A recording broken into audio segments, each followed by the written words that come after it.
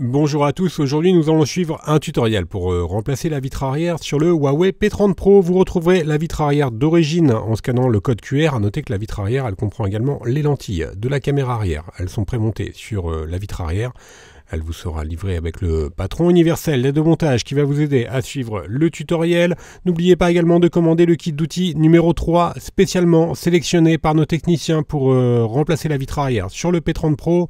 Vous retrouverez également la vitre arrière dans le kit complet de réparation qui comprend euh, le kit d'outils, le coussin chauffant et également le patron en version euh, adhésif. En commandant ces pièces sur notre site internet, vous bénéficiez d'une assistance technique gratuite par chat, par téléphone, également par mail, et vous bénéficiez également de 10% de remise avec le code YouTube. C'est une réparation qui est assez facile. La difficulté est notée 2 sur 5, il faut compter environ 20 minutes. Si vous n'êtes pas sûr d'avoir un P30 Pro, regardez au dos de votre téléphone et les numéros de modèle euh, sont indiqués sur la vidéo. Avant de commencer le démontage, nous allons bien sûr éteindre le téléphone et nous allons également retirer le rack des cartes NanoSIM. Et nous allons tout de suite commencer par l'ouverture du P30 Pro. Le P30 Pro, il s'ouvre par la vitre arrière. Et la vitre arrière, elle est collée sur le châssis du euh, téléphone. Donc pour cela, on a deux méthodes pour faciliter le décollage. La première méthode, ça va être d'utiliser un coussin chauffant spécial que l'on va appliquer au micro-ondes. La deuxième méthode, on va tout simplement utiliser un décapeur thermique ou un sèche-cheveux et on va chauffer tout le contour de la vitre arrière afin de faciliter le décollage de celle-ci. Donc en chauffant, bien sûr, ça va ramollir la colle qui maintient la vitre arrière.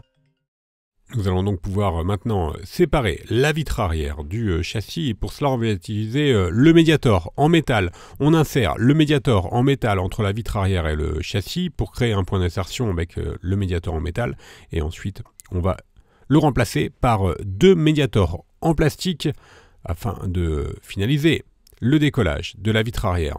Alors on utilise des médiators en plastique tout simplement pour ne pas abîmer le métal et le verre de la vitre euh, arrière. Et ensuite, on va faire glisser les euh, deux médiators sur euh, tout le contour de la vitre. Alors si éventuellement vous rencontrez quelques points de résistance au niveau de la colle, il suffira juste de réchauffer l'endroit qui vous paraît un petit peu plus compliqué à décoller. on a fait le contour gauche, on va maintenant faire le contour droit. Alors vous avez vu, c'est un petit peu plus dur euh, au niveau de l'appareil photo. Alors voilà, donc c'est juste euh, le coin supérieur droit qui est un tout petit peu plus difficile à décoller. Et là, on a bien rejoint. Les deux médiateurs se sont bien rejoints, donc on peut euh, ouvrir la vitre arrière. Et le décollage sera ensuite terminé. On va mettre le téléphone de côté et on va s'intéresser à la nouvelle vitre arrière. Donc comme je vous l'indiquais, la vitre arrière d'origine, elle comprend euh, notamment les lentilles de protection euh, des appareils photo arrière. Et donc on va retirer les protections des lentilles. Une fois qu'on a retiré tous les adhésifs, on va euh, préparer la pose de la nouvelle vitre arrière. Alors pour cela, on va utiliser la colle B7000 la colle B7000, elle est incluse dans le pack d'outils. Elle comprend un applicateur qui vous permet de bien positionner la colle sur tout le contour du châssis. Alors même si votre vitre arrière peut avoir des stickers qui sont prémontés, on vous conseille quand même de rajouter euh, un filet de colle sur euh, tout le contour du châssis, en plus des stickers d'origine de la vitre arrière, afin euh, de vous assurer d'un collage parfait.